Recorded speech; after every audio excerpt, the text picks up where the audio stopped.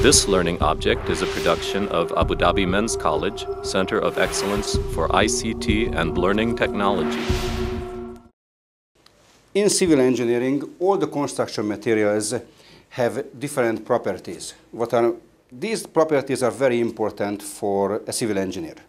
One of the most important properties is the density. And uh, we can identify the density of uh, the different construction materials it can be concrete or wood or, or glass or steel. We have one interesting construction material, and this is the soil. The soil is an interesting material because it's, uh, it's not man-made.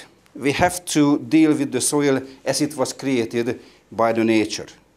Our soils, what we have to deal uh, on the construction site, all these soils are coming from different types of rocks. Once the rocks are breaking up, the larger rocks are breaking up to smaller pieces, and then we have different sizes, and if the size is different, we have different names for those soils. We have a table here that uh, show the different types of soils, and I will just stick to uh, three soils here, which are the most representative in the, in the UAE. And these three soils are the gravel, the sand, and the silt. These three soils are granular soils because they include small grains. I take one grain from here, and all these grains are coming from different types of rocks. Uh, when the grain size is between 2 millimeters and 60 millimeters, we call the soil gravel. If the size of the grain is smaller than 2 millimeters, we call it sand. And if it, it is smaller than 0.06 millimeter, that is the silt. Uh, these soils of course, in, uh, on a construction site, we can have a, a, not only one soil, not only sand or silt or gravel, but generally we have a mix of these soils. We can have a soil when we have only one fraction, let's say uh, just sand, like we have in the, in the desert, then we have poorly graded, we can see that it includes only one grains. If we have uh, two components in a mix, then we can, we can call it gap-graded soil or well-graded soil. Now we know from uh, engineering practice that the density of the construction materials can be identified by the mass divided by the volume. Now we can see here that uh, for, for soil, the most important uh, component of the soil is the solid grain that is coming from the rock. Between those grains, we have airspace. We have voids in the soil. The ratio between the volume of the voids and the volume of the solid is a very important soil property. This is called the void ratio. The void ratio of the soil, again, I have, I have one drawing that represents the two components. We have the solid grains, and then we have the voids here. We call the voids uh, together porosity. In the voids in the soil, generally we can have air or we can have water. Sometimes we have only air in a dry soil or we have only water in a saturated soil or we can have both in certain situations.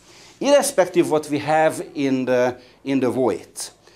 The most important component is the solid. How much solid do I have in the soil? The higher percentage of solid gives me a much stronger soil. If I have a soil when the percentage of the solid is smaller, then I have a looser soil which is not as strong and I have to decide can I build a building on that soil without any potential problems or not. The ratio again between the porosity and uh, the solid phase is called the void ratio. Generally, if I take a look in these soils, uh, the ratio between the voids and the uh, solid phase is 50-50%. If, if you walk in the soil, let's say in the desert, you can't imagine, but half of the volume in a unit volume of soil is actually air space. So 50%, 50%. When I have a mix of soils, I can have different void ratios because I can have in certain soil a higher percentage of porosity or a lower percentage of porosity. How much is the porosity in a soil is depending on the shape of the soil grains and on the ratio between the different fractions. we can see that uh, if I have a poorly graded soil, it means I have a higher percentage of air space in the, within the soils, then I have a higher void ratio of the soil because again the void ratio is the ratio between the void uh, to the solid phase. On the other hand, if I have a well-graded soil, we can see that the smaller grains can fit into the space between the larger grains, and in this case, I have much more solid phase inside a certain volume of soil. We can see if I want to build anything on that type of soil, I will have less chance to any potential problem like settlement under the building, or uh, if I would build on a soil which is poorly graded. How can I identify in the soil that what is the maximum void ratio or the minimum void ratio?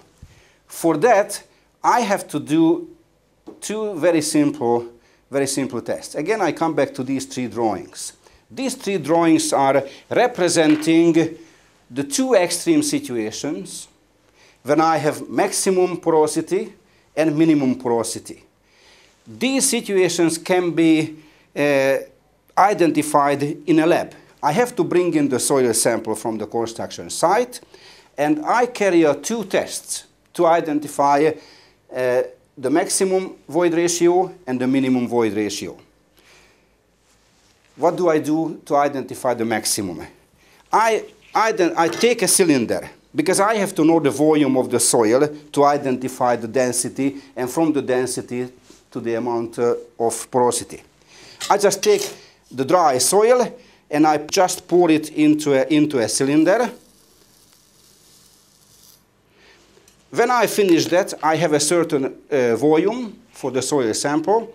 I can identify the dry mass of the solid phase inside the soil, and the from the ratio I identify the dry density of the soil, and from there I calculate uh, the void ratio, the maximum porosity, and with that the maximum void ratio of the soil.